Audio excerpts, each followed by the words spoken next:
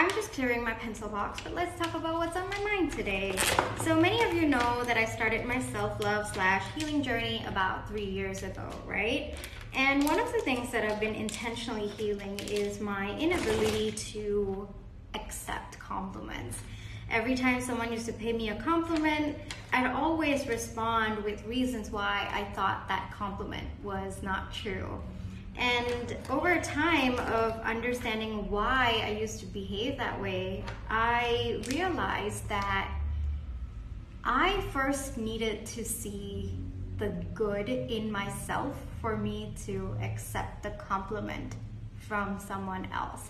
And so lately, at least in the past six months, I've been complimenting myself. I've been taking the time to see the good in myself and appreciating it. For example, this haircut, I was the first person to tell myself that it looks good.